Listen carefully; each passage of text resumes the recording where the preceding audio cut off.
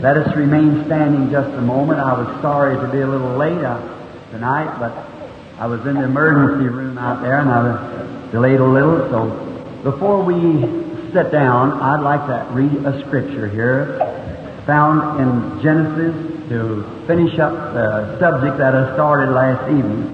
In Genesis 22, we read it this from the seventh verse. And Isaac spake unto Abraham his father and said, My father.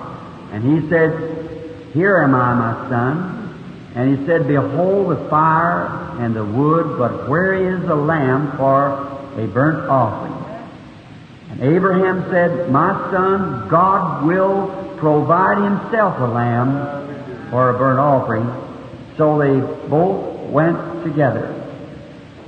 And the 14th verse again, and Abraham called the name of the place Jehovah Jireh, as it is said to this day, In the mount of the Lord shall it be seen. Let us bow our heads now just a moment as we approach the author of this word in prayer.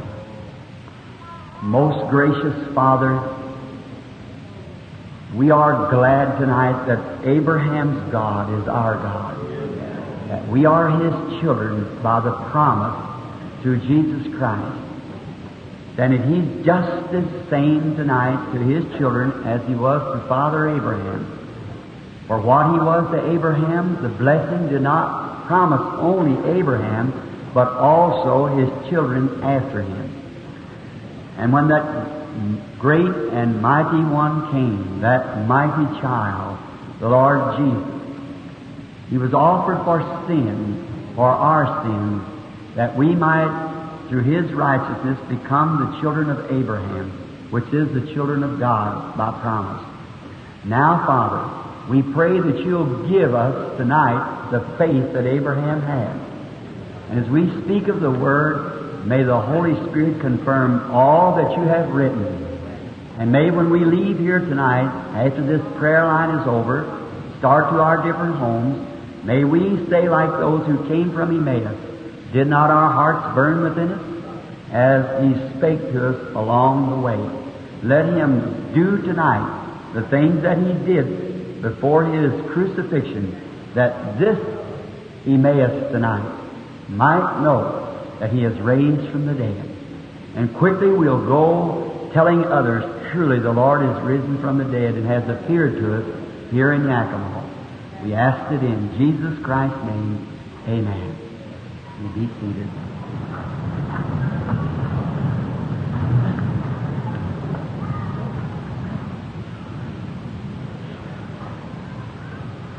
There are many are laying handkerchiefs up here. I do offer prayer for them each night. I remember in South Africa, one of the books, I believe it was written by Chaplain Julius Stadsklev. He wrote the book, I believe, Prophet Visits Africa. And they had several big uh, burlap sacks across the platform laid full of mail. And the editor of the paper, the reporter, said, Brother Branham is very superstitious that he was praying over cloths.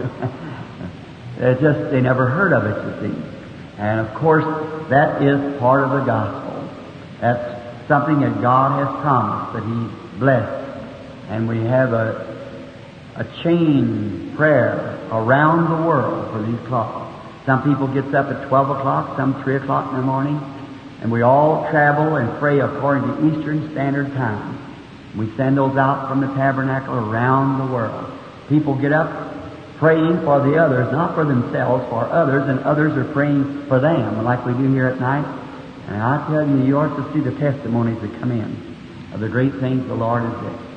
Just speaking last night in the emergency room, there was a little German woman sent not long ago, and she got a prayer cloth, and on the, the it's a little piece of ribbon. I used to send a handkerchief, but when they got too many, I couldn't do that, so I just get hundreds of yards of ribbon, sit down praying over it, send it to the sick and afflicted.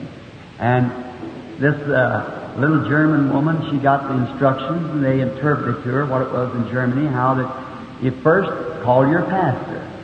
And if your pastor can't come, some good Christian out of the neighborhood, or some member of your family, confess all your wrongs if you have it. Pray. Take this little piece of cloth and pin it on the underneath garment. Lay your hands up on it and tell God that you'll serve Him the rest of your life if you let you get well. And then when you do that, then each hour at the old sacrificial hours at 9 o'clock, 12 o'clock, and 3 in the afternoon, Eastern Standard Time, that's when I'm praying at the same time, and we go around the clock like that and around the world. And you just, God can't ignore that. All over the world at the same minute. There's prayers of hundreds and hundreds of people blasting forth at one time. And this little German woman put that up on her, and she called her neighbors, her pastor. She'd had arthritis for 20 something years in a wheelchair. It was kind of cute and sensitive, but she said, when she put that on her, she said, Now, Mr. Devil, you cannot hold me no longer, so just get out. Here I come. Out of the wheelchair she went, the way she went walking. just that simple. It's just that simple, faith is. And what I've taken these nights for to speak on faith is because people try to make faith complicated. It, God doesn't make it complicated, it's us that makes it complicated. We're going way out there trying to get something way out there, and here it is right here by Simple. If you got faith enough to walk across that floor, you got faith enough for anything God promised. If you got faith enough to raise up your hand, well, you you got faith enough for anything else. It's simple faith. Just apply with the hospice I've told you in the messages. Just take the blood and by simple faith, just like you eat, drink, walk, drive your car, speak, or anything else, it's just that simple. But when you go to thinking, oh, can I do it? Can I do it? See, then you're, you're going far away from the, from the main thing. You got to come back here to simple, childlike faith, just to believe God, say God promised it, my possession, Christ died for it, and it's mine. And just go right ahead and believe it, and don't think nothing else about it. Just it's all right, it's all over, and you'll get well. Now I know that is the truth because I have tried it. But now, if you've got unconfessed sin in your heart, it sure won't work. You've got to confess your sin. Believe on the Lord Jesus Christ. Accept Him as your healer, just like you would as your Savior. They say is salvation is um, divine healing lasting, Brother Branham, just as long as faith is lasting. Uh, when you get to a place that you say that you're not saved no more, remember you're lost your ground right there. When your confession goes down, then your faith goes down. And now the first thing that Hebrews says this that Jesus Christ is a high priest, making intercessions upon our confession. And before God can do one thing for you, you have to first confess that He has done it. He's the high priest of our, course, uh, King James says professing, and profess and confess is the same word. See? Profess that it is, or confess that He is. See? Profess, I profess I'm a Christian, or confess I'm a Christian. Makes no difference. And then in the woman touching his garment. It said, Thy faith has saved thee. Uh, these Greek scholars here would tell you that that word there in the Greek is sozo, which means just exactly like save physically or save spiritually. Same translation, sozo. Thy faith has sozo, saved thee. Thy faith saved thee from hell. Thy faith saved thee from death. Thy faith saved thee from sickness. See, it's um, sozo, the same word. So the same faith that you have in God for your salvation is the same faith you use for your healing. Just simple, believe it, act upon it. It doesn't take any sensations, it doesn't take anything in the world, but just common faith. You don't have to feel nothing, you don't have to, only thing you have to do is believe something.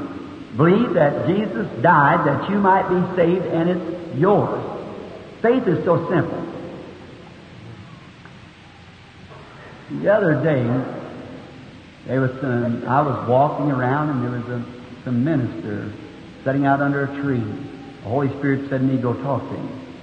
I went over there and his wife come out and a group of people had been here, they couldn't get a prayer card didn't know this emergency room. They had to go back. See the grace of God? And then, well, while I was there, the Holy Spirit came down and began to reveal all kinds of things. And then people began weeping and going on. And I said, You brought an Indian with you. Where's that at?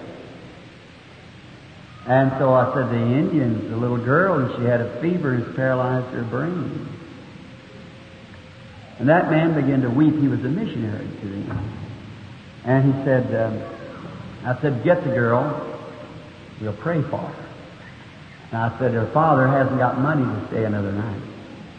That's what hurts me. I wonder how it ever happened. I, am going to have to change doing what I'm doing because I don't get in contact with enough of the people through these um, visions. The people in America, we've been taught too long, we must lay hands on one another. And really, that's exactly what my calling was to do. The angel of the Lord told me I was born to pray for sick people. It was me that questioned. Then he said, by these signs, he would cause them believe. I said, they wouldn't believe me. I'm uneducated, and they wouldn't believe me. He said, by this they have to believe, because you know the very thoughts of their heart. Many times, I wish sometimes I'd have had something else. For many times I stand before people that puts their hands on my back and call me brother, and I know that's wrong. I stood with, even with people that stay and say, oh, Brother Branham, I've got the Holy Ghost and things like that, and no, living with another man's wife or some other woman's husband. You stand and have to swallow that when you know different. It cuts and hurts. Don't never covet it. Don't never want it. You don't know what goes with it. A good friend of mine really just sitting at a table a ministers. And I wrote to him, and he was a fine man. I met him, and I was just sitting at a table eating one day and down in Louisiana, and something happened. I looked across the table, and I wished I would not have done it. It's hurt me ever since if I just wouldn't have done it. That's the reason I try to keep it away as much as possible. To keep from sinning. I don't I don't want to have that feeling. I want to believe that it loves me anyhow, see, and you don't want to have it, you don't realize what you have to battle against, knowing. And then what someone says and what someone means in their heart sometimes is two different things. And you hate to know that because I love people. And I want to love them with a true love, not knowing what they even think, but that don't make any difference. Uh, I, I want to love anyhow. And then, but the more simpler we can get, the better off we'll be.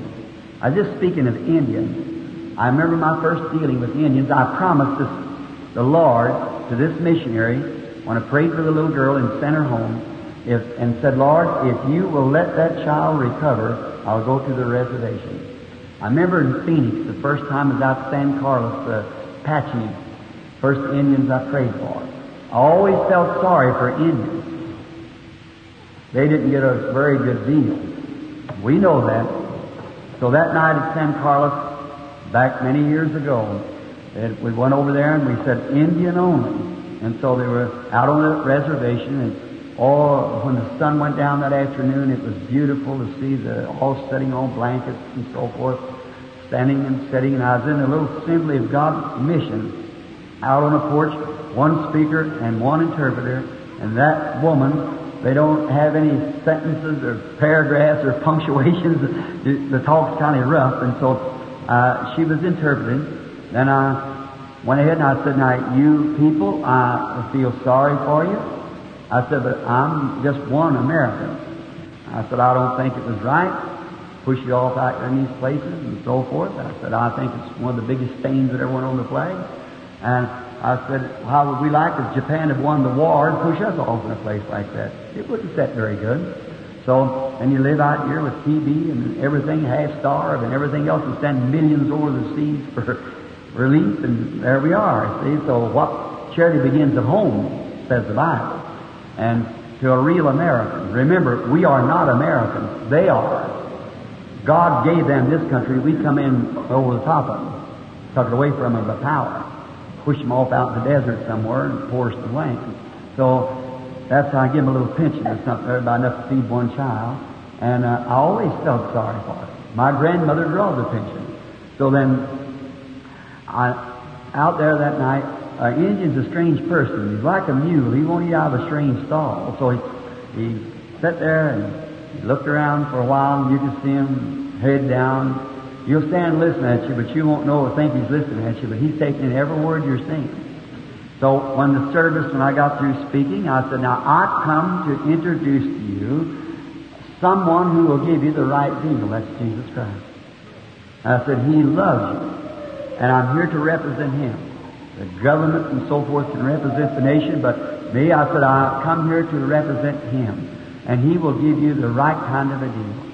And then when I got to saying that, I said, now all that wants to be prayed for, notice you couldn't give out prayer cards because there wasn't a way to line them up. You just had to hold a little place over here and let one come through as he would. So I said, now all of you that wants to be prayed for, stand up. Well, I left down in Phoenix with the Spanish people, and oh my, it was horrible they, how they would come into line, thousands of them. And then um, I said, now the thing, I said, and I looked, and I thought everybody would jump up and run, but there was nobody jumped up and run. Everybody sat still.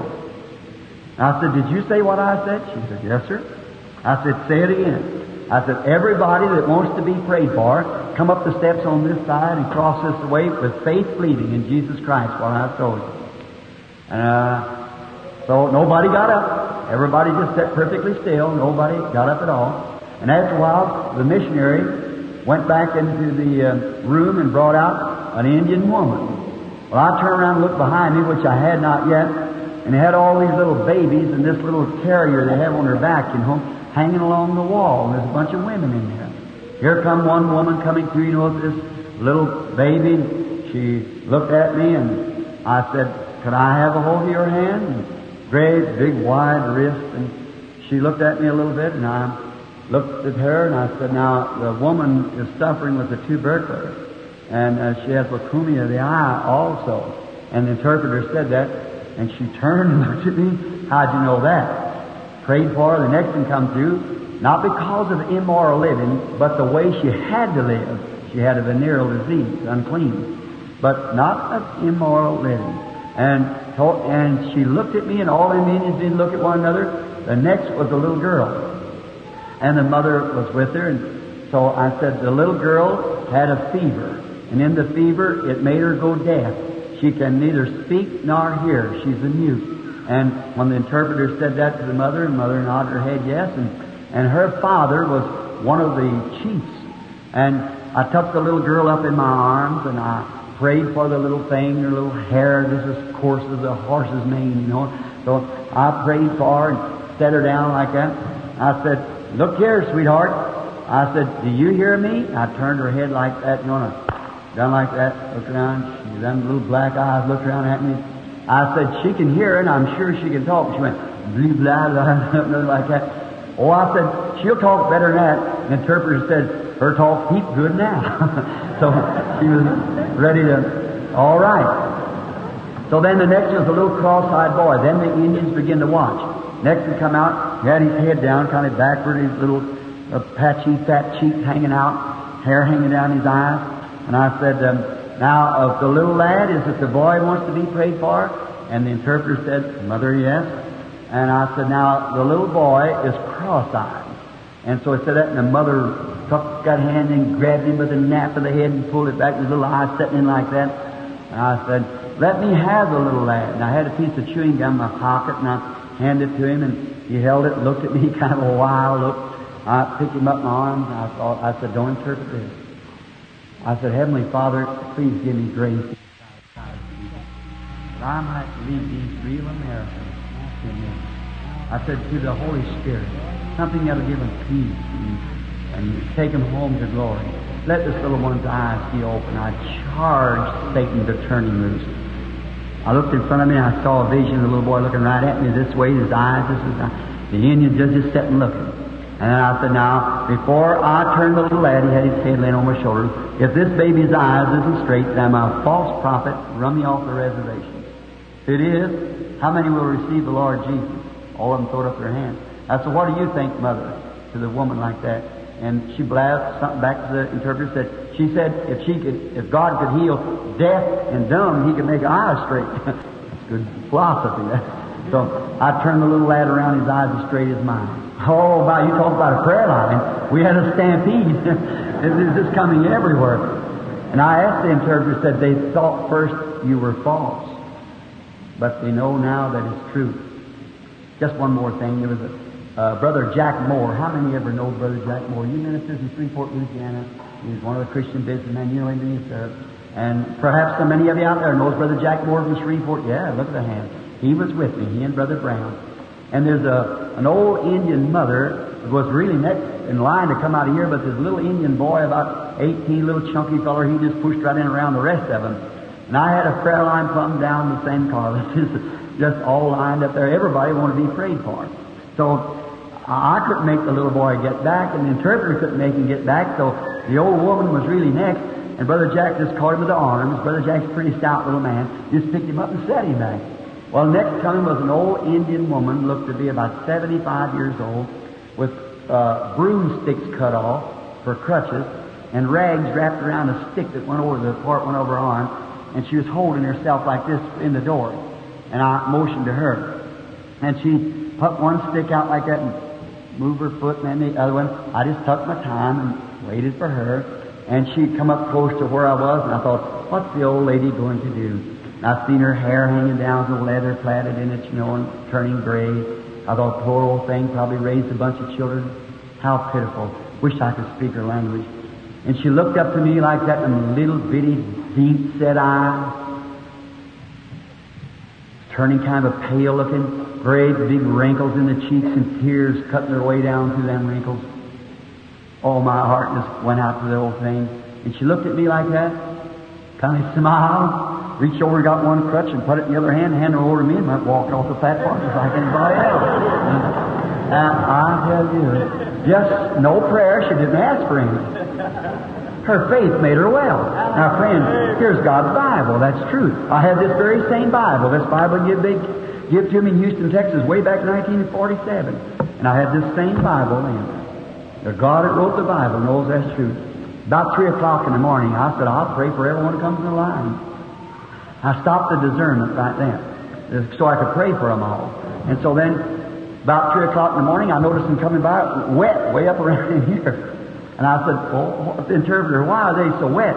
Said, they ain't not waiting to go down to the ford about 10 miles. Said to go out into the desert and get their loved ones and wade across the river with them. And just bring them in on everything. So I looked, there was a great big, husky warrior standing there. His lips real blue and he's shivering. And I looked, there's an old man. Him and another fellow had on a, a board and he had a, a board laying like this with a cross timber on it, going up like this. And he had the old man's legs laying over the, the two sticks across this way and two across this way. They had his arms and he was shaking with palsy like that, just as gray as he could be. I said to him, I said, Speak English? He said, Little. I said, You afraid you take pneumonia like that? Nope. Said, Jesus Christ just take care of me. I brought my dad. Simple faith. I said, Oh. I said, You believe God will heal your father? Yep, what we brought him. I said, Pass him by. Must have been his brother back there. Looked a whole lot like him. And passed by him. Went by, laid my hands on the old man. I said, God of heaven, bless the old fellow. Give him the desire of his heart. Passed him on. Next one coming. Lay hands on that one. First thing, I heard a lot of noise out there. Here the old man had the board on his own shoulders going out waving everybody. Just simple faith. That's all. They don't, they're not all tied up with this and that. They, uh, they just believe, that's all. Now, may God help us tonight to have Indian faith. that's right, to believe. God heals the little girl, it'll be a sign. That's why I went to San Carlos the first time. Uh, went over there because God healed a, a woman come in the prayer line, which was uh, alcoholic, and the next one come in was the two Burkers, them two Indians, and they brought back the certificate from the doctor that about a month later when I was in California that this woman is dismissed from the doctor, her TB was gone. And the alcoholic had never had another drink. By the way, that woman held up her hand here the night, got saved. Are you still here, sister?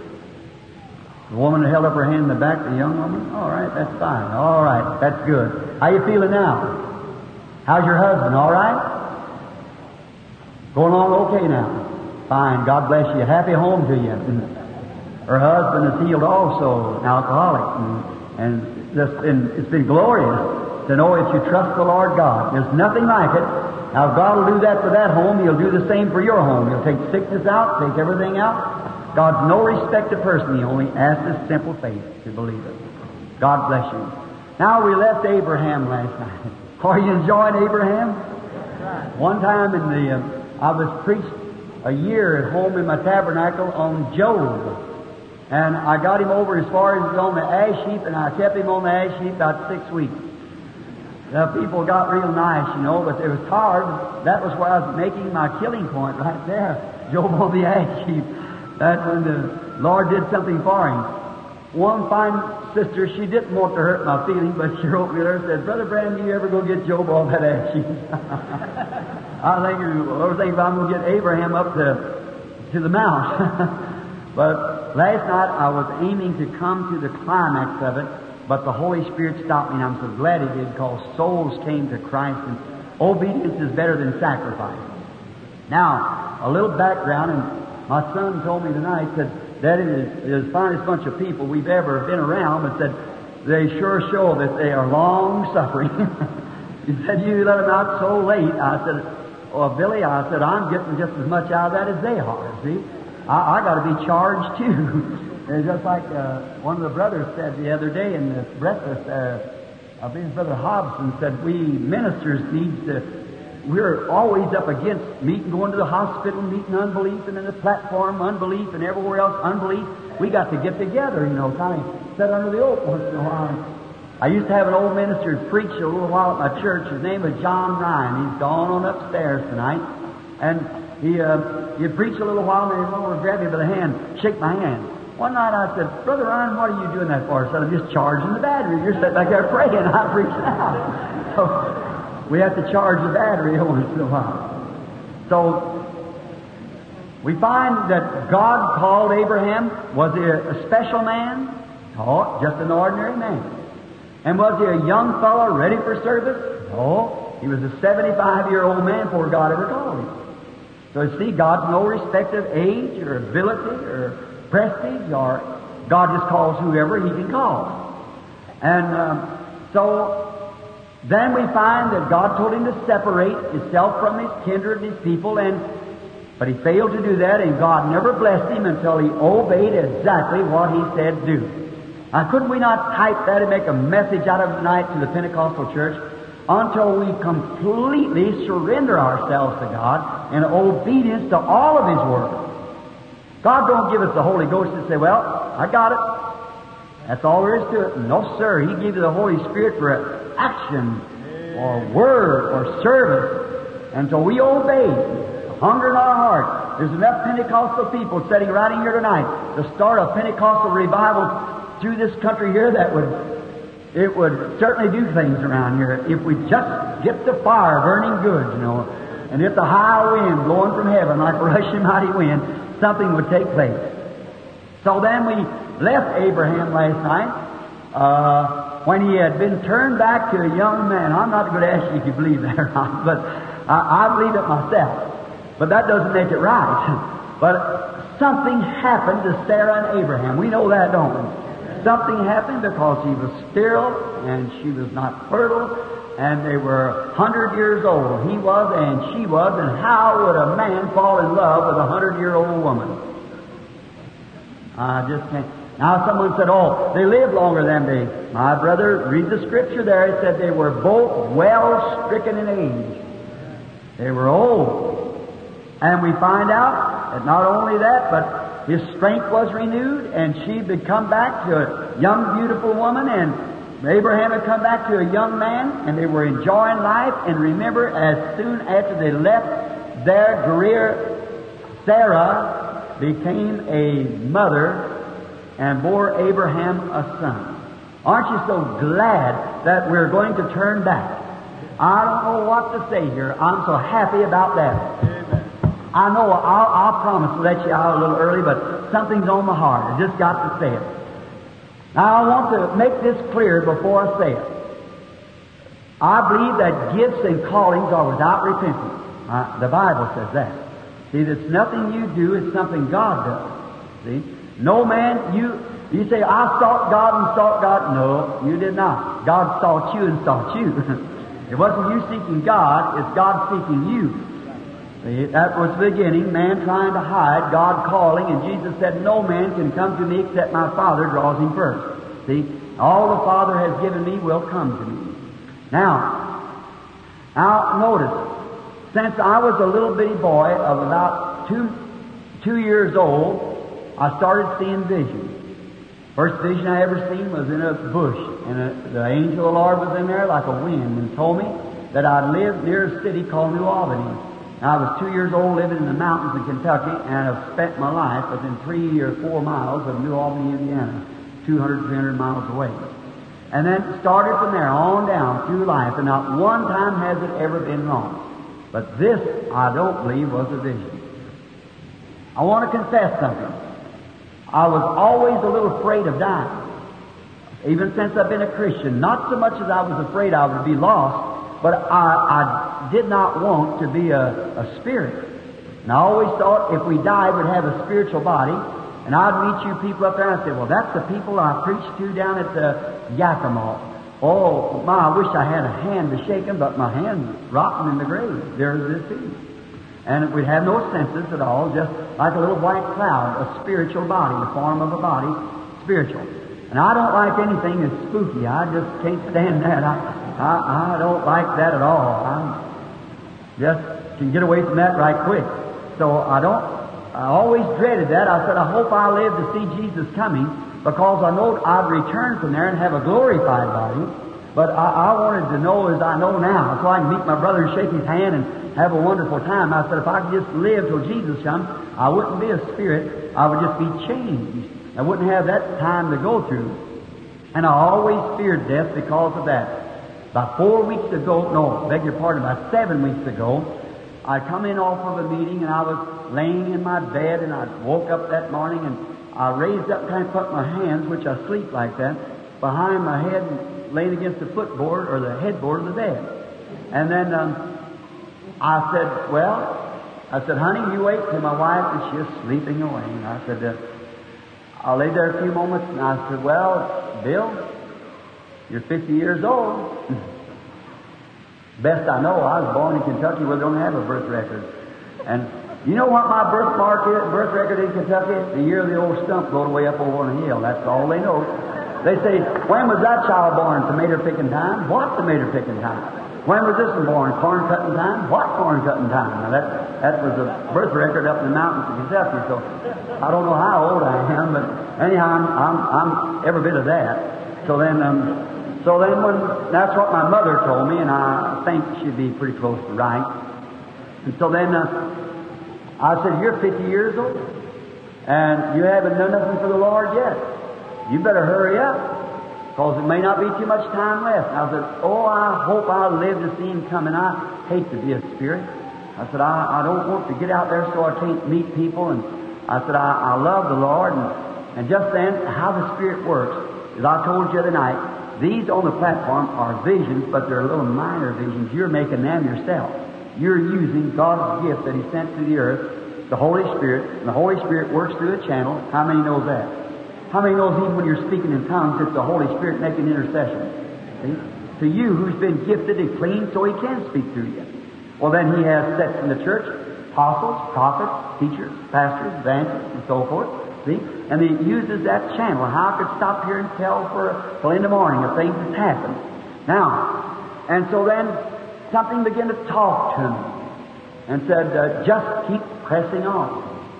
And I said, well, I've been pressing on, and it said, the reward is at the end of the road. The reward is at the end of the road. I said, I believe that. The, well, hey, who am I talking to? I looked around. I said, Meda My wife. I said, Meda You wait. He said, huh? And I said, okay. And this while I was sitting there, I thought, Father, was that you? Is that you speaking to me? And you've heard the story of the possum and the little fishes and the things that's taking place down in the naturalist in the life and things. Just way it starts talking, just the same as you hear my voice. And when the man come walking to me, on the first time that he visited me in a human form, he was not a vision. I know what a vision is. The man stood there and talked to me. He told me he was sent from God, that I was to pray for sick people and needs to be. He wasn't a vision, he was a man. And I don't know who he was. He just said he's sent from God. And he was standing as close as my hand is right there. And I looked at him, talked to him, talked, conversed to him, and this light was hanging over him, went down over him, picked him up with his feet, and he went out of my sight. And everything he said's coming back to the past. Just exactly, see? So uh, I know it's true. And the light, the scientific world's taking a picture of it. If I die tonight, my testimony is the truth. The church knows it around the world. The scientific world knows it by research that they took a picture of it and a photograph and put it on with George J. Lacey, the head of the FBI, on fingerprinting documents and of photographs and things, and he's kept it in there for about a week and said, I swear a statement that it is not psychology. The light struck the lens. The light was there. And said this mechanical eye of the camera won't take psychology. Said the light was there. Paper after paper has taken it. We've had it several times in Germany and Switzerland and other places where they've taken it. Scientifically in that country proven that it was a, a supernatural something uh, like a pillar of fire coming down and does it. You see the reaction of it here in the church? That's just like it did when it was on earth in the flesh of the Son of God. Now it's on earth in the flesh of the adopted sons of God, bringing the church together for the Son of God to come get a bride. Amen. That's exactly right. And now, laying there, I heard it say, keep pressing on. The reward is at the end. And I, I felt something happen to me. And I heard that song being sang. We sang it in our church. I like to hear the sweet harbor bells chime. It would brighten my faith and would banish all fears. Lord, let me look past the curtain of time. You've heard it, many of you, that glorious old song. And I thought something was, I thought it was down. And I looked back, and there I was laying on the bed. And I turned this way, and there's like a, a hill coming down right from me, everywhere it's at. Remember, with my Bible on my heart, I tell the truth. What good would do me to say that if it wasn't true? What good would my preaching do? All my sacrifice and suffering, what good would it do if I'm alive? See, it wouldn't do a bit of good. I don't have to say this. But I'm saying it that it might help you because it's the truth. Wherever that place is was another dimension. I could not tell you, but I was somewhere I could look back. And everybody's always accused me of being a woman hater.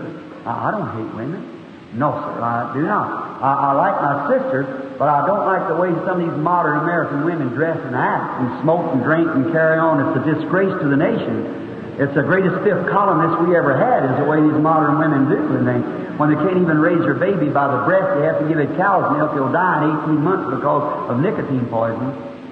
Sir, you talk about a fifth columnist, that's it. That's what breaks the back of every nation, is this womanhood. Always has been. I like real women, real mothers. God give us more real old time mothers that we wouldn't have so much juvenile delinquency if we had a mother stay home, take care of her kids, instead of out somewhere with a cocktail party and a little babysitter trying to take care of it somewhere. That's right. That's what poisons the mind of the children. Uh, America's rotten with it to the core. Getting worse all the time and will continue to get worse. There's nothing. I give my voice against it, but it's going on because the Scripture said so. It'll die in its youth, this nation. Now, Remember in Revelation 13 when it appears, It always is youthful. That the little the lamb come up. Now, so I was kind of a little rough about women, and maybe this is kind of done to hold me down just a little. And I happened to look coming to me, and there was looked like a million women. They were young, looked to be about 20 years old, and the every one was. Now, excuse me, sisters, for this remark. But the, everyone was very young, had long hair down to their waistline, wearing white dresses, and was barefooted. And they'd run up to me and throw their arms around me and scream, My precious brother. Now, I hope that I have found grace in your sight, that you'll understand me. You listen to your doctor, I'm your brother. I don't care when I was a, when I was a sinner, I lived true that way because the angel it meant me said, Don't never smoke, drink, or defile your body in any way as immoral living. God in heaven knows I live that. But there isn't a man that's, that's red blooded and healthy that a woman could throw her arms around it. I don't mean the man would be wrong or think wrong, but there'd be a human sensation. But in that place, it wasn't. It was truly a sister. And there, I, I looked and I said, I can't explain what it was. There was no yesterday, no tomorrow. It was now. They didn't get tired, yet they could shake hands, they could talk, they had a body, and just like they was here, only young. Now I said, I don't understand this. And that voice that was above me said, this is like something like Jacob when he had gathered with his people. Just then I looked and man was coming over the group, just like millions of them. And they were running, throwing their arms around me and screaming, my precious brother. And my, you know I was married before, and my wife died when, that's Billy's mother. And that's the reason Billy and I stick together. I, she died when he was 18 months old, and his little sister was 8 months old. She died with the mother. And I've been Papa and Mama both to Billy. And I've seen Hope coming, working her way through the crowd. And I thought, surely she'll call me her husband. And when she got close to me, she, I could see her, bless her heart, black eyes, German girl, you know, black hair. She threw her arms around me and she said, My darling brother. I thought, I don't understand this. And there's another woman who just, girl there, put her arms around me and said, My precious brother. And she hugged this woman and said, Think of it. He's finally arrived with us. And these men, they picked me up and set me on a little place like this. They said, I said, why is this? He said, in earth you was a leader. And said, I said, I don't understand it. And just then, this voice spoke again and said, this is when you gather with your people. I said, when I die, you mean this is what I'll be? Yes, I said, oh, why did I ever fear this? This is wonderful. Oh, my, just perfection. That won't reach it. Suburb, that wouldn't reach it. There's no word in the English dialect would reach it. God knows that I'm telling this from my heart. It happened. And I would turn every once in a while and look back, and there I was laying on the bed. It wasn't too far away. Now, I've heard since I've been telling it, there's a man named Dr. Price that had a similar experience as that. It's in a book. And if anybody's got that book, I'd sure like to read it because I want to know something about it. So then, um, he was a man who prayed for the sick years ago before my day. And then uh, I looked again, and then it said, This is when you gather with your people. I said, All these are Branhams? He said, No, they're your converts. I said, convert? Said, You see that woman that you're just admiring and put her arms around you and said, Darling brother? I said, Yes. Said, She was a past 90 when you led her to Christ. Said, No wonder she's screaming, My darling brother. Said, She'll never be old no more. She'll never be sad. She'll be that way forever. I thought, oh, if I only could live it over again. I would cry, I would pray, I would persuade, I'd, I'd do everything. If I had to push him, I'd get everybody to come into that place. Oh my, people could only understand what it is.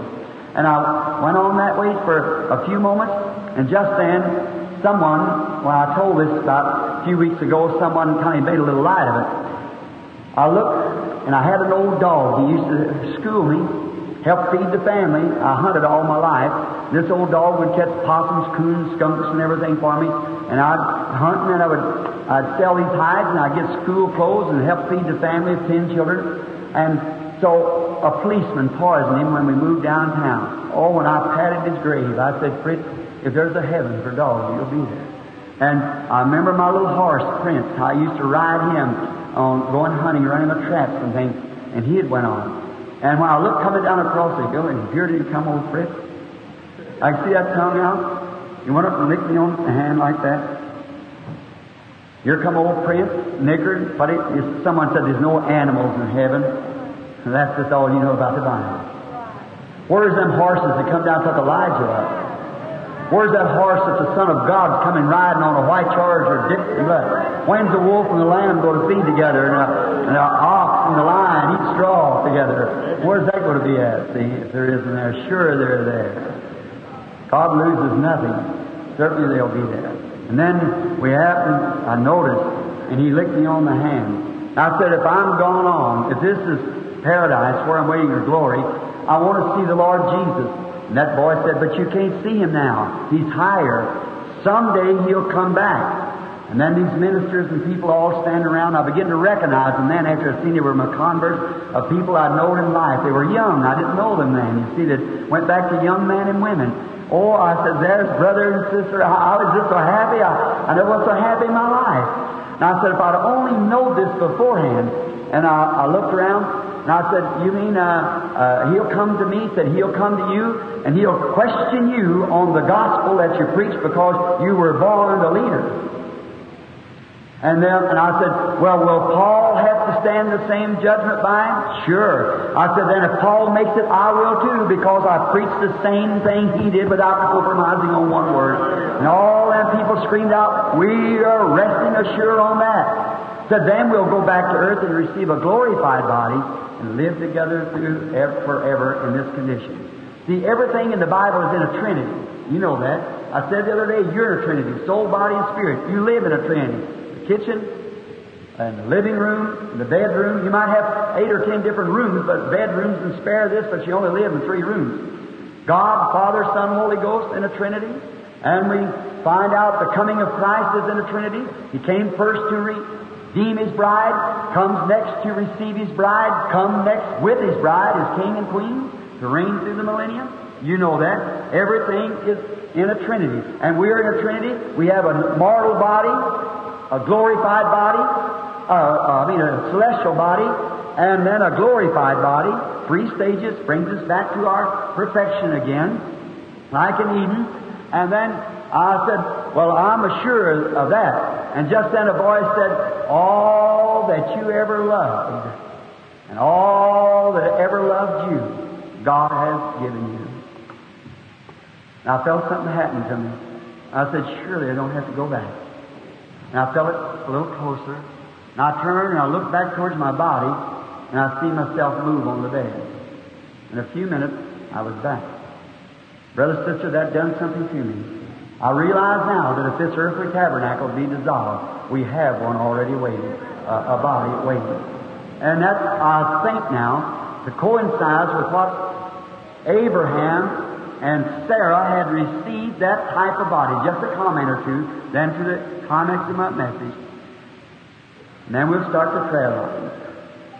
God had showed in Sarah and Abraham here exactly what He was going to do to all of Abraham and Sarah's seed. All the seed of Abraham should be that way. And here on earth, He brought them back to a young man and a young woman. And I told that story just exactly as close as I know how it happened. And I, it was, I don't, don't, uh, let's call it a vision, because if I would say that it was a little translation there, if it was a vision, I'd ever had anything like it. Now, I'm not trying to impersonate the great St. Paul, because I don't, I've seen too much of that in my life, carnal comparison. But say it was a little translation, I went to the first heaven, and if it's that way in the first heaven, what did Paul see when he went to the third? Ah, no wonder he said, eyes not seen or ears not heard. It was that glorious in this heaven here, when you go into the third heaven, what must that brother have seen? Now, now immediately after that, after they being come back, God renewed them. He made them a young man and a woman. He started them new. They were both fertile at that time. Then they bore the little boy which was called Isaac. Abraham circumcised on the eighth day and had a feast, and when they weaned him and so forth. And then we find out that he grows to the age of about, let's see, about 12 years old. Just a pretty little Jewish boy with black curly hair and little black eyes, and how that father and mother must have cherished that little lad. And one night the Lord woke Abraham up and he said, Abraham, now let me just stop there. He called Abraham, but I want to say this, this isn't Scripture. But it certainly will blend with the Scripture. Abraham, I want to show your seed from your after that what a man will do when he really trusts me. I know I promised you this boy 25 years ago, and you didn't stagger with unbelief at my promise, but you believed it. Now I want to make the people down in Yakima and different places where this gospel will be preached to know that I keep my word. I'm going to give you a double trial of it to show that the people who accept my word, no matter what comes or goes, they must hold on to my word. Now, I'll give you this son. Now I want you to take that son up on top of a certain mountain that I'll tell you. I'm going to make out of you, uh, out of your seed here, a mighty nation out of this boy. And I'm going to make also all the nations of the earth. And you're going to be the father of many nations. And now I want you to take the only hope that you have of ever me keeping my promise for you to be a father of nations. I want you to take him up on top of the mountain and kill him. Destroy everything that gives an evidence that you're going to have it. Oh, I hope you get that. Then, of course, poor old Abraham, he didn't want to wake up Sarah. and tell her about it. So he got up early and took the little boy and the two servants and the little mule and he chopped the wood and put it in the sack or something and took off into the wilderness. Now, any ordinary man, when I was on patrol for seven years, I had to walk average 32 miles a day through the wilderness. And we got gasoline feet in these days. That man had to walk everywhere they went. An ordinary man ought to say ought to walk 25 miles a day. Look to things that you don't see with your eyes. You don't see with your eye anyhow. You see with your heart, you look with your eye. So, standing at that door of faith, look what Jesus said here. Let me read here. Because thou sayest, I am rich and increased in good. Look at our churches. We used to be down on the alley. We used to be on the corner with the tambourine. But now we got some of the best villagers in the country. Sometimes some of the best polished scholars in the pulpit. Because thou sayest that I am rich and increased in goods and have need of nothing, and knowest thou not that you are poor, wretched, naked, blind, and don't know it. Now, if I seen a man on the street that was poor, uh, and he didn't even have any clothes on, and he was blind, and if I could go to him and talk to him about it and say, Sir, do you realize that you're naked? Oh, am I, sir? Yes. Come in here. I'll give you some clothes. But what if that man is naked, miserable, poor, and blind and don't know it? That's a delinquent person. That's a mental deficiency. And the church has become a spiritual deficiency. They don't realize that God is shaking every gift before the church. And they don't recognize it. Blind and don't know it. Think of it. Naked, a naked person, a blind person, poor and miserable and wretched, and don't know it. That's pathetic. Jesus said the church should be that way, and this Laodicean age, and it's here. I'm so and so. I belong to this denomination. I'm as good as you are. But brother, he said, counsel me and buy white raiment. White raiment in the Bible is called the righteousness of saints. Buy me white raiment. Buy me gold tried in the fire. The fire of Calvary. Buy me gold, the holy oil of God poured out. Buy that kind of gold Buy the righteousness of the saints, that thou may be hid. Now look, and buy from me some eye salve for your eyes. Oh my. Buy some salve from me. That'll open your eyes to what's going on around us. Oh God, I wish I had some way that I could get the church to see it by salve. Salve is a hard oil, and oil is the Holy Spirit. Let me oil your eyes, that you can see that I'm the same yesterday, today, and forever. That you see that the promises that are made for the last days is here. Buy from me salve. We were kids, raised very poor. My grandpa was a hunter a famous hunter, going throughout the country for hunting. And when the weathers got bad, he used to trap. And when he trapped, he used to trap uh, fur-bearing animals. And he had dogs, and he caught coons, raccoon. I guess you have them here in Washington, raccoon. And he used to take those coons, and we would eat the meat, sell the hide. We wasted nothing, and the grease was a cure-all at our house. You'd have a cup full of coon grease. If one of the kids got sick, drop a couple, drops of turpentine on it for a bad cold and swallow it. I don't know how we lived, but we did it. But it was a cure-all. If somebody got a bruise, they'd put coon grease on it. A headache, they'd rub coon grease across your head. And we had to sleep upstairs. There's a little two-room house that mother and dad and five of us children before the others come. We slept upstairs, the boys. Pop and Mom, there's no floor in it, all dirt floor. had a stump cut off for a table. And then they, in the room there, they had a, a bed built out of straw tick on it with a shuck pillow. Daddy used to have a shaving brush made out of shucks. We were way up in the mountains. My grandmother died at 110 years old, never seen a train in her life.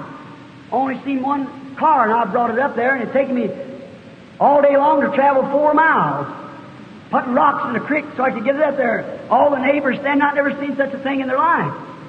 When I brought this little 26 Chevrolet up through those mountains, I got stuck down there, and I asked the man if he'd take his horse's fly and said, My mare, if you get her close there, he'd tear that thing to pieces. She never seen anything like that.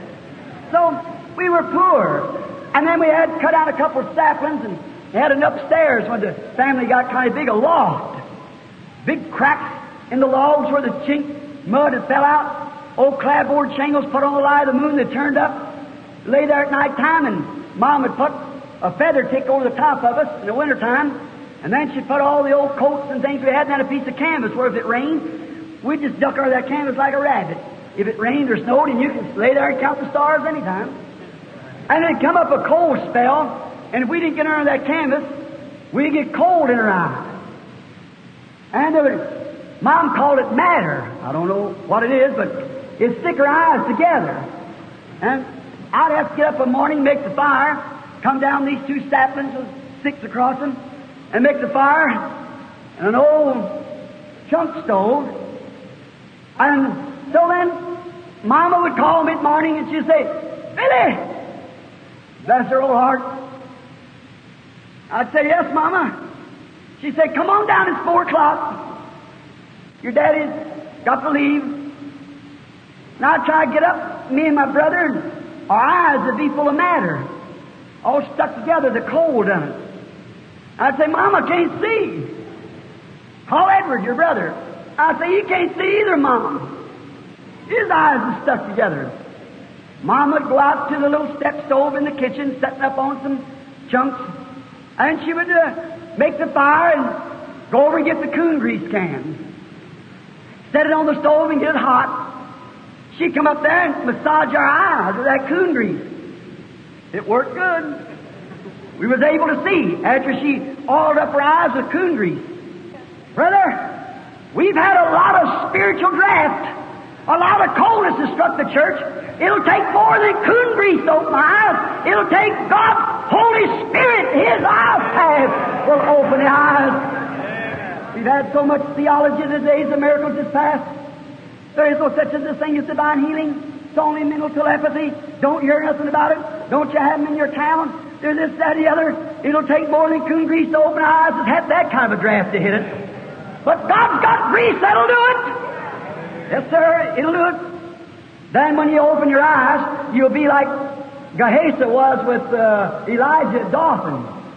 You remember that night the old prophet went down there and slept, and the Syrian army would come over and surrounded the whole city. And Gehazi woke up for his servant, looked out, and there was just all around the city was just nothing but soldiers armed. There lay the old bald-headed, long-whiskered prophet laying there asleep. He shook him and said, My father, my father, wake up quick! We're surrounded, we've been trapped! I can see the old prophet get up, his eyes is open. Got up and looked around. Yeah, I see him, but there's more with us than there is with them. There's more with us than there is critics. Looked around. And Gehazi still had needed a massage in his eyes. Said, I don't see nothing but Syrians. The old prophet stretched forth his hand, laid his hands up on him, and these signs will follow them that believe, you know. And his eyes come open. He said, Lord, let this man's eyes come open that he can see. And God opened up his eyes, and around that old prophet, all around all the mountains was chariots of fire and angels of fire. His eyes is open. We can only open our eyes to see this afternoon sitting around, standing around, moving up and down the aisles, angels of God, the Holy Spirit. Hallelujah. Moving around to the audience. You'd see there's more with us than there is with them. God, open our eyes. Open our heart. Open every door in our heart. Said, I stand and knock. If any man will hear my voice and open, I'll come in and sup with him. Let's go back a little bit. Some 1900 years ago, we're closed. Let's put ourselves in a little room on the street straight that lead, led up towards Golgotha. Now I hear something coming. Sounds like a knock on the door. Bump, bump, bump. Like someone's knocking at the door. We go to the door and open the door. It's nobody exactly at the door, but yet it is a knock. But it's an old rugged cross coming down the cobblestones, dragging out the bloody footprints of the barrier. Bump, bump, bump. Oh, it ought to go way down today and you ought to feel it. On his shoulder it was rubbing. Bump, bump. Looked like anybody opened the door to that. A man dying that know no sin yet was made sin for us. Making a way to that bumping. Oh God, let that bump open every heart in here this afternoon. Bump, bump as it goes along. Look at him. They tell me he had not a place to lay his head. Said the foxes has dens, his creation, his birds has nests, but he, the creator of heavens and earth, had not a place to lay his head or a friend to stand by him. Can't you feel that knocking at the door this afternoon? He was doing that so that bump would knock your heart's door open this afternoon. To let him in as God and his Savior, as healer, as King. He had one robe. He was wrapped in swaddling cloths when he was born. That's eh, wrapping off the back of a yacht, ox's yoke. Didn't have no clothes put on him. And now he's dying with one garment to his name. Yet he made every garment, made the heavens and earth. It has got a seam in it. They filled it across his shoulders. I noticed there's some little red spots on it. As I noticed that bumping, fading out, am I going to let it go by without accepting it? Oh, God made the meeting not close till you accepted it. Know what he's bumping at your heart. He died that he might come back here in the form of the Holy Ghost and do the things he's been doing for you. Open up your heart believing. I notice as he goes on, them little bitty red spots gets bigger and bigger till it comes in all one great spot. Satan was walking along there. You said it can't be him. That can't be God. I questioned him one day and said, if you're the Son of God, perform a miracle. Let me see you do it. That devil still answers that question. I asked it. If you've got healing power, let me see you heal this one. Jesus said it's written. And then I got him with the soldiers, Satan said. I got my Roman soldiers half drunk. I put a rag around his head, covered up his eyes, because, you know, he said he could perceive their thoughts. He wouldn't have to have his eyes open then. And I put a rag around his head, had my soldiers to, and I got had him take a stick and crack him on top of the head and said, Tell us who hit you if you're a prophet. He was a fake. He couldn't tell us. And then I had them drunken soldiers to spit in his face. And could that be God in that flesh? Going there with a gobs of spit hanging off his face, a malt crown on his head? And I questioned him and challenged him to do something, and he never opened his mouth. That can't be God. So when they hung him on the cross, he said, All right, death, come on, take him. He ain't God. I see that bee of death come up buzzing around. He said, No, that ain't God. God couldn't scream on the cross for mercy. God wouldn't do that. The high priest said he saved others, but himself he can't save. The biggest compliment he ever paid him. If he saved himself, he couldn't save others. But he gave himself that I could be saved and that you could be saved.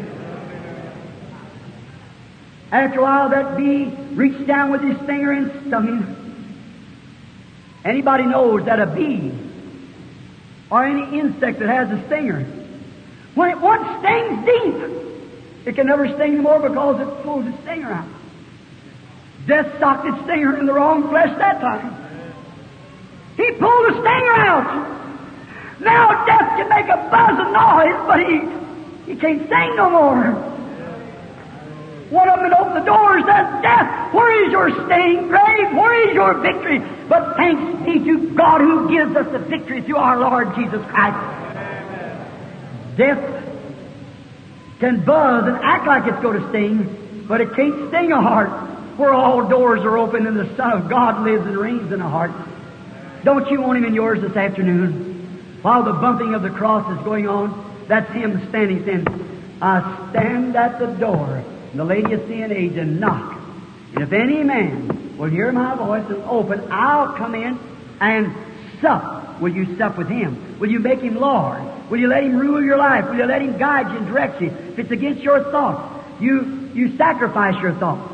Let the mind of Christ be in you. Will you do it while we bow our heads just a moment for a word of prayer? I stand and knock. Look what he did for you the bumping of the cross. If any man hears my voice and will open, I'll come in. And let him set me down and give me a chair and make me feel comfortable, not misery. Not let him say, I don't want you in my private life. I've got enough faith. I don't need you anymore for that. Don't do that. But make me welcome. Set me a chair, a nice, comfortable chair, and say, Yes, Lord. Here's a little praise in my heart. Here's my hand going up. It's a little sup. Here's a little soup that we could sup together. Sit and talk it over with you. Would you like to do that? Raise up your hand and say, Brother Branham, I now want to him to sup with me. I want to sup with him. God bless you, lady. Some would there be another? God bless you, lady. God bless you, sir. God bless you, young man. God bless you, sister. All right, someone else on the bottom floor before we go to the balconies. Raise up your hand and say, Lord, come in. I, I, I want you to sup with me. I want you to talk with me. I, I want to make you Lord in my heart. I feel you knocking. I, I, want you to sup with me. Raise up your hand. Someone else that hasn't raised their hand on the bottom floor feel that urge just now. Can you feel the bumping of that cross?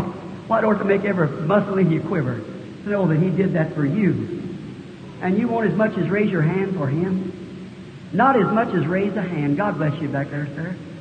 Up in the balconies to my left, would you raise your hand? Are you with your heads bowed? Say, sup with me, Lord. God bless you over here, my colored brother. God bless you, young boy sitting there. Someone else up in the balcony. Say, will that do anything, Brother Branham? If you really mean it, you pass from death to life. He'll come right in. Have you felt the cross in your heart this afternoon, the bumps down the street? Him trying to knock at your door to get in, to do something good for you? Raise your hand. Balconies to my right, up in the audience there. Would you raise your hand and say, Brother Branham, pray for me? Ah, now, God bless you. God bless you. That's good. Someone, God bless you. Bless you. Bless the little one there. Bless this one. That's right. Someone else. Just raise your hand. God bless you.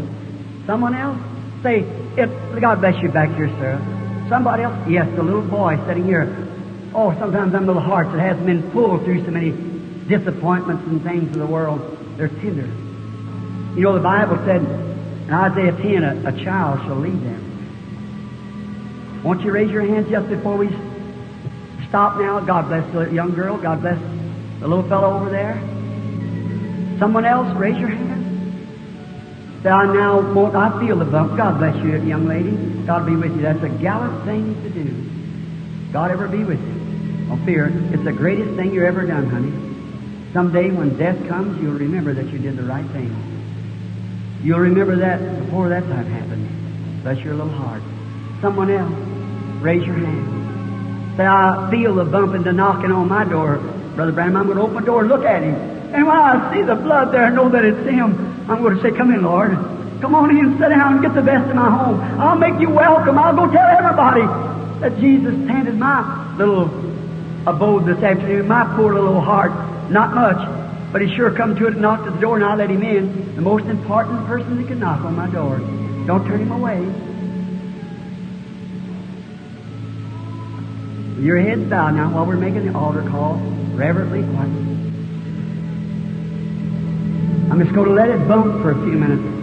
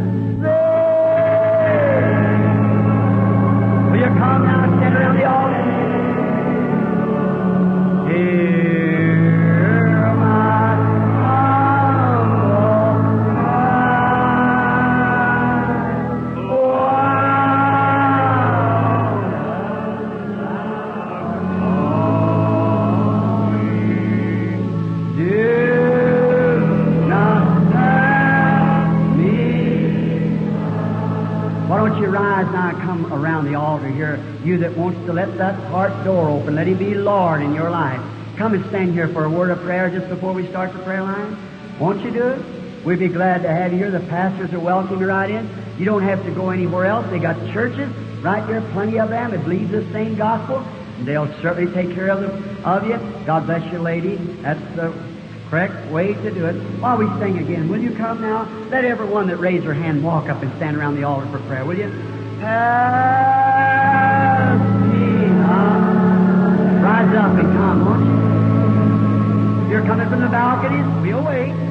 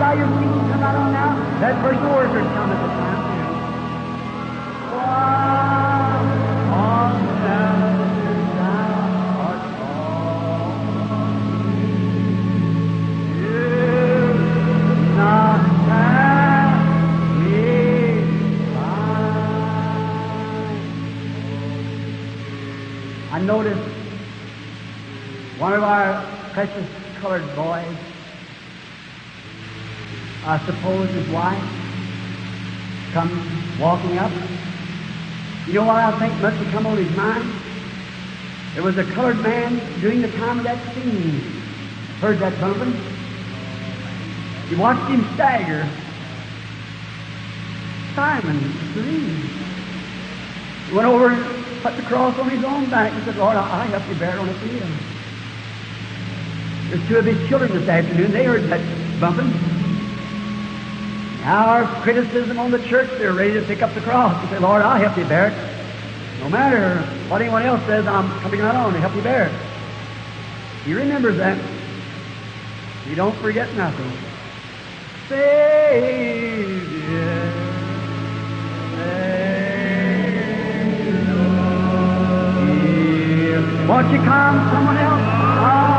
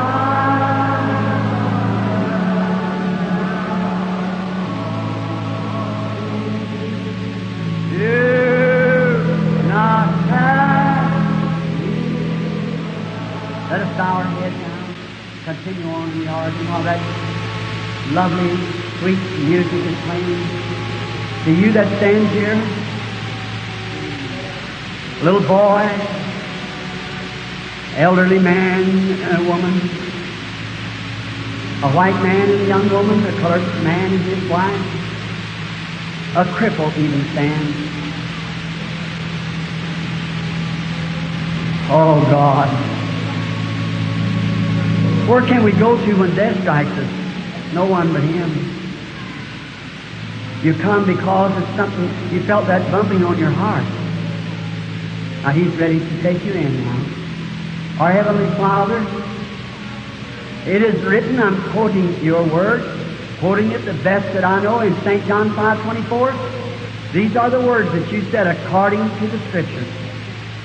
He that heareth my word, which they just have, knocking at the door, and believeth on him that sent me has everlasting life and shall never come into the condemnation, but pass from death unto life. You said it, Lord. I believe it. That's where my soul is stayed, right there. You promised it. Every promise the truth.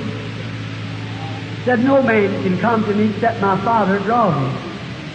Then the magnetic power of the living God is drawing this afternoon. And he that will come to me, I will in no wise cast out.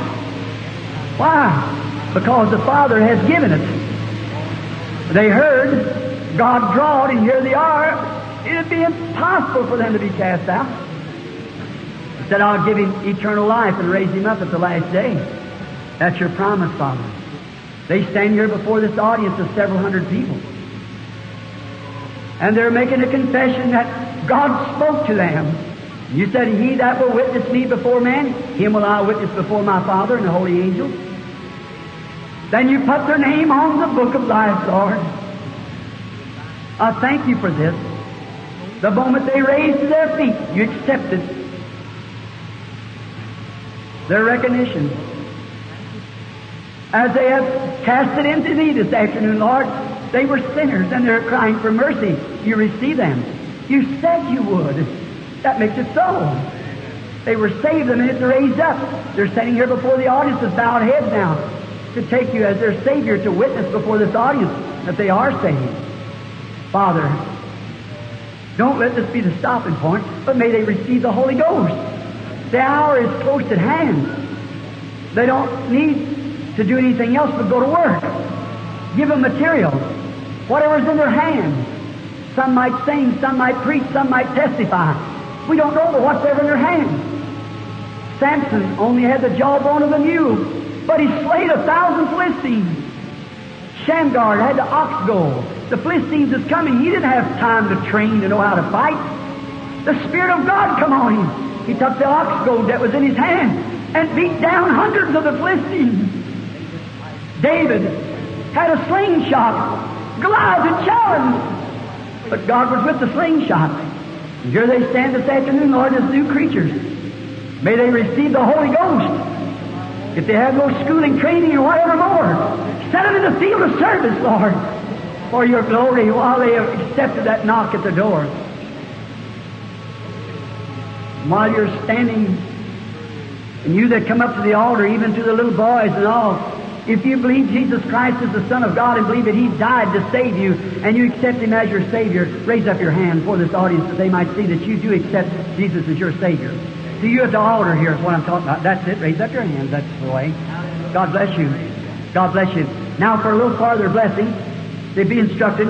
The minister is standing here ready to lead to the room where we can meet you in a room for prayer. Just move right around to the right while I make another call. Come right around this way, if you will. To come to the right, right this way. Let the personal workers follow these right now. Right now to the room this way. The minister and the personal workers. Come right this way to the room. Are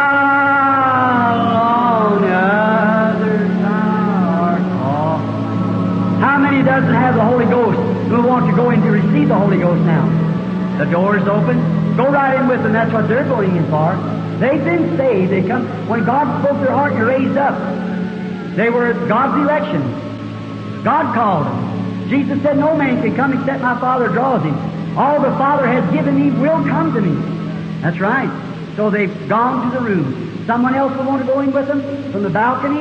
It doesn't have the Holy Spirit. We got instructors and so forth that can instruct you and stay right there the rest of the day and night if you want to uh, until you come through with the baptism of the Holy Spirit. Brother, it's an essential thing. You must believe it. You must have it or you'll perish. Go in, won't you? While we sing once more. trusting only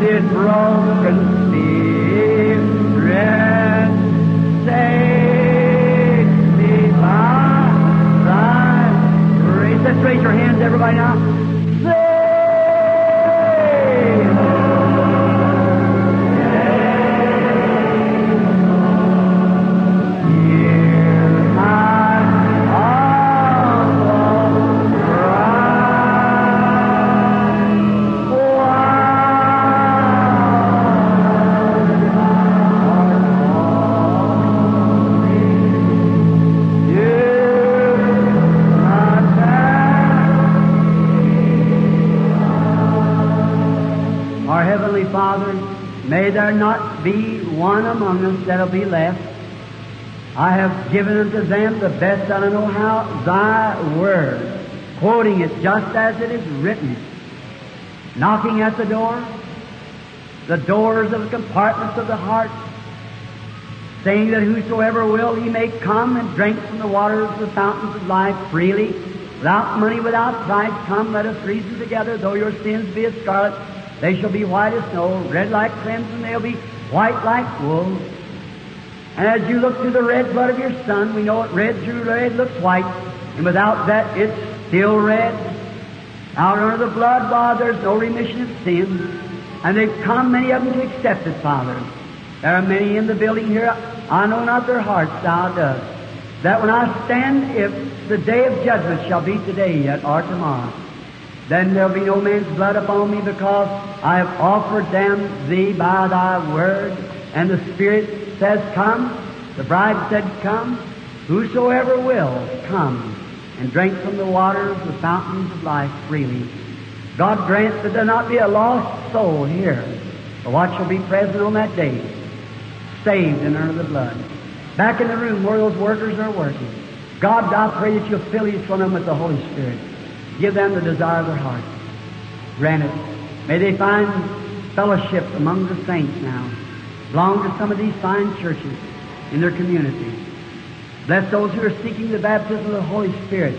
May He come graciously upon each of them. Help us now as we call the prayer line. Heal the sick and afflicted. And when life is all over, Father, the last sermon is preached. That I'll do someday. My life shall have to end here on earth if Jesus tarries. And then my Bible's closed for the last time. The last hymn has been played.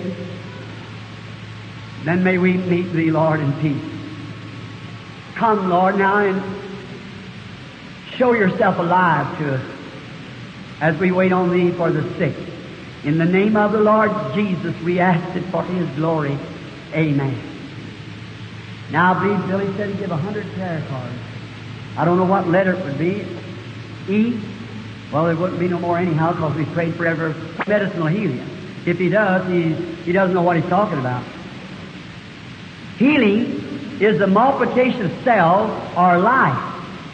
Medicine will not produce life. If they had let medicine make life, we pour it in a bottle, shake it, and a man come out. See? But we're not, we don't have it. If you go, now you say, Brother Branham, what's your thought about doctors? I believe they are servants of God. I believe that there is some among them that's not. But there's some amongst preachers that's not servants of God too.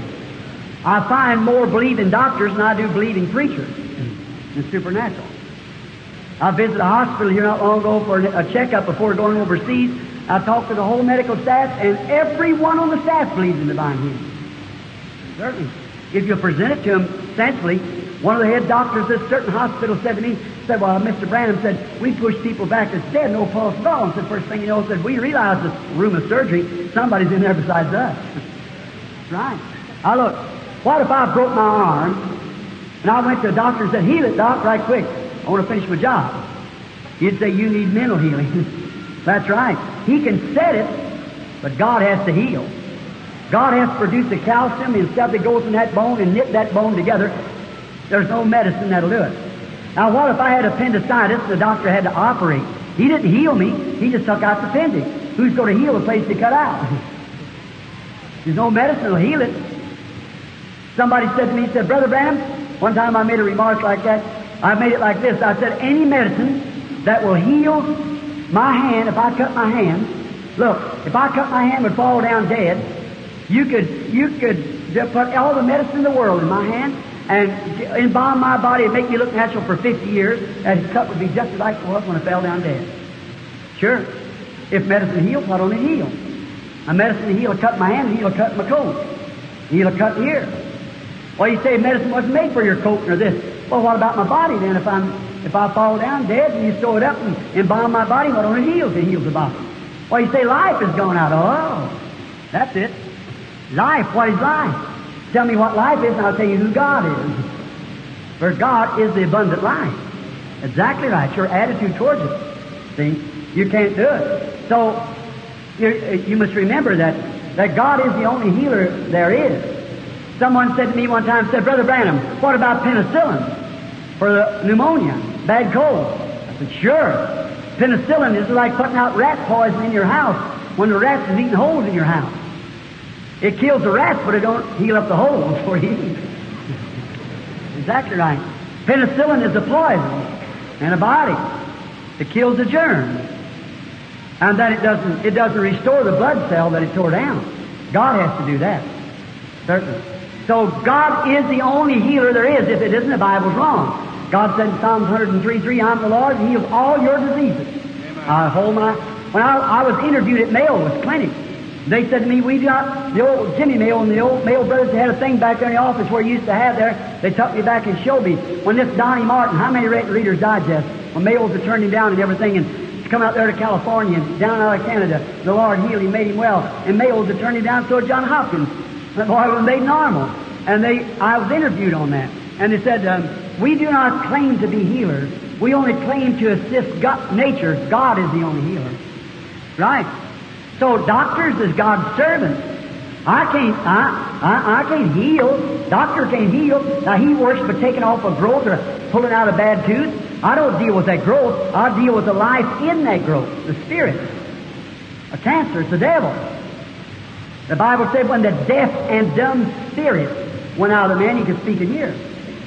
Spirit. If the if the man's deaf and can't hear, the doctor says the nerves is dead. Well, why is it dead all over his body? Just like this. What if there's a transparent band around my hand to cut off the circulation? Soon my hand would become dead. Be useless. Well, now, you can't see that. The doctor only works on two senses, two of his five senses, what he can see, what he can feel. Well, now, if he can't see it or feel it, then when that band's released, then circulation starts back again. Just as nature, a lady had a spastic baby over there the other night in the emergency room. I prayed for the little fellow, told her, I said, like a stalk of corn coming up. If nothing bothers it, it'll produce a stalk of corn, good and straight, a good ear. If a vine wraps around it, a clod lays over it, thick, it'll crook. Well, that's the way spastic or anything else is. If something hinders it. Well, if you can move the hindrance, the thing will grow straight. Now, a lot of people say, well, I don't see any difference now. That don't have anything to do with it. Not a thing pull the cloud off the corner, don't straighten up right now. Just give it a chance. Laying in the warm sun, rain must come out straight. So you do the same thing. You just believe it. It's God. One, all life of that life is bodily life, which comes forth by the S-U-N. But eternal life comes to the S-O-N. Is that right? Son of God. Say what you can do. Pour concrete up and down your sidewalk. Put the grass down. Where's the thickest of your grass next spring? Right along the edge of the sidewalk. Why? It's that life in there. You can't hide life. When that sun begins to warm that concrete, that little life will grow right on out, right on out, and stick its head up and praise God. That's right. You can't hide it. You take a, a plant and put it in the bottom of a kettle, turn the kettle upside down, watch that plant turn right around and come right back up and praise God. Right. You can't hide life. And when life's in the heart, God's in the heart, you can't hide it. Oh, He's real. Now, look at that line of people come out into the hall and outside.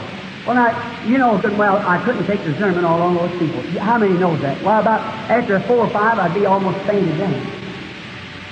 How many in here now, well, you haven't got any prayer cards, but you believe with all your heart that God heals. Get well. All right, now go on. In the first ministry, when the Lord told me to lay hands on the, they laid their hands on mine.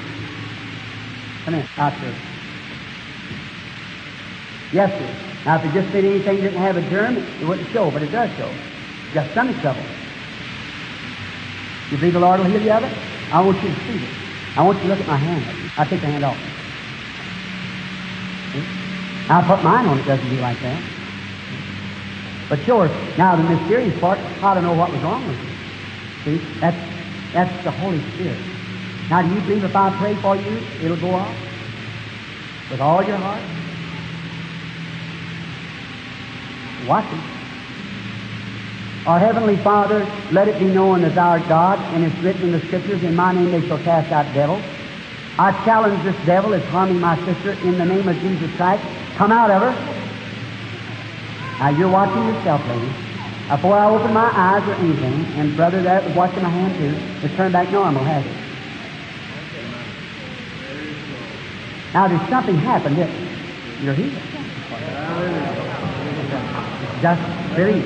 Now this lady, I'm not looking to her for a vision. Put your hand on mine, lady. Yes, sir. Shouted to death. Cancer. Are you aware of that? Now, she must have healing or dying. Now, I, I just can't explain it. I, I, I just got to believe it. That's all there is to it. I, there's no way for me to do it. Now, ladies, if I could do anything to help you, I'd be a hypocrite if I didn't do it. But I, I can't do no more than pray. If you and I will agree together like Jesus promised in the Bible, and you'll believe this with all your heart, how do you think that I know that she was suffering like that? By gift, is that right? You believe that gift comes from God? Now, if we agree now, I can make it leave you and you can see it go. But if uh, if I if we'll put our faith together, and then if it goes, I can say it'll stay.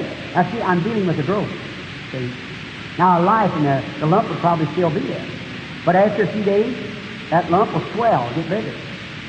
Then just let it alone. Think on life, things like a little dog getting run over on the road. He'll shrink for a while, but then he's swelling it twice the size. A lot of people say, I lost my hearing. No, that's time you got it. When it gets sick, it's a piece of rotten meat laying there. The heart has to purify the bloodstream so it beats air and starts an infection, takes fever and everything. That shows that you got your healing. A lot of people say, well, I missed it. I missed it. Now, will you believe? Now, remember, when it's gone out, it'll walk in dry places. Now, if you'll believe, put your hand in. I want you to understand. So come up here close because you're in a serious condition. I want you to look at my hand. It turns of red, little white things run over. Now, that's not the mysterious part.